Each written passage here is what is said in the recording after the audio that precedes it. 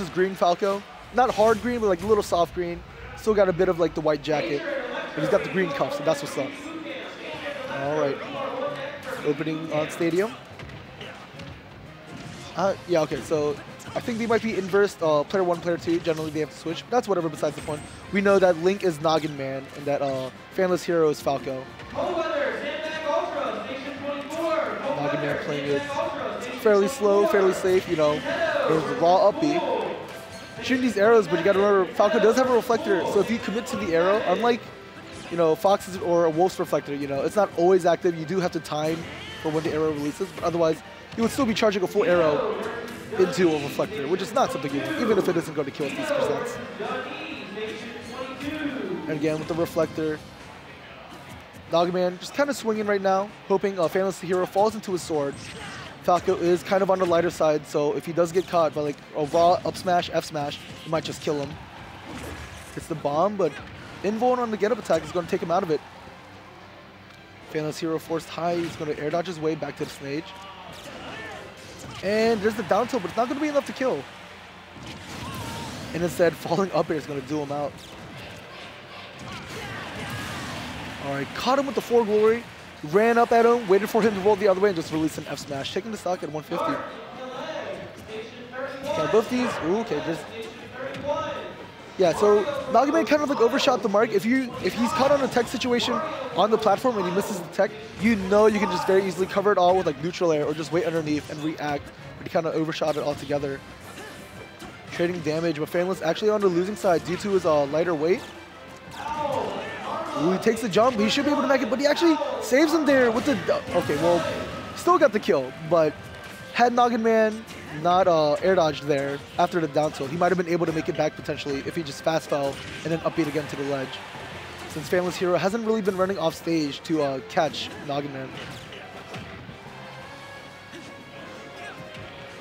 All right, so Falco off stage, but Noggin not really punishing. It seems like Fanless is just looking for an option out of uh, Link. And there's the uppy. He's going to take him out. 94% to zero. Still relatively doable. You know, uh, Link has some... Oh, he's just upping again. That should be the F smash and he's going to be dead. One thing I wish for Noggin Man not to burn his recovery so fast, because it's not like he's getting spiked or anything. He's getting hit by Falco Laser, which just kind of, you know, stops you, drops you a bit, but you can act out fairly fast. But, you know, every time he's immediately gone for the jump or the up B high, and he's been getting punished very uh, bad for it. Going through the bands. Most probably, I'm not sure. Again, he seems to be a newer player, so I'm not sure what his uh, stage habits are. So we'll just have to wait and see as we go into the uh, stage pick. Is fanless? Unless unless they're unless the tags are backwards. Okay. He's on his phone. He's out here tweeting up a storm. Or shooting a text, you know. Let your loved ones know that you're still alive. That you're in a tournament, that's why you're not responding.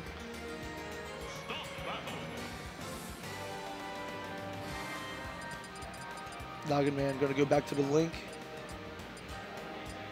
Getting his red link. Oh, he's switching it up. I don't know what I don't know what color scheme that is or what that's inspired by, actually. That's a cool shield, too. It's white with the pink lettering. It's interesting to look at.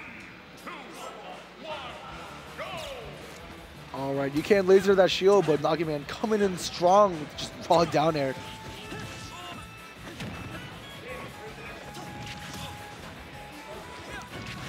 All right. Fanless Hero Again, he's coming with these lasers. He needs to close the gap because otherwise he's just kind of eating damage right now, and it's showing. You know, Noggin Man playing much closer, but down throw up smash isn't really a thing anymore. Throws out the raw reflector, trading the bomb back and forth. He's gonna make it back, but he lose. He gets caught out of his jump. And again, he's like up being at very awkward distances. Then why would you down tilt Oh, you get the down air. I guess you get the stock, which is like, it works. But it's like, if you didn't, if you got like the sour spike, then like, you would have like missed out on your kill. Just take like the raw F smash, especially if he's falling like that. All right, so Fanless Hero with a solid lead. Chasing him up into the air. There's the up smash, but this time in City. Oh, he's gonna jump into the down air. He's not gonna get spiked by it because it is the la uh, later hit. He's just gonna die off the top. And he's gonna respond in kind with back air. Alright, once again, two stocks to one. Fanless with a strong lead. And then kind of playing straight hit. We're finally gets one up tilt, two up airs, not gonna get the third. Uh, Noggin's gonna sneak in that down air and be able to land. So here's the bomb, but he hits himself with that one. He's going high. Alright, Fanless might be, okay, so he misses the uh, spike, but he's still keeping the combo going. Sour down air. He's looking for the spike. He's looking so hard.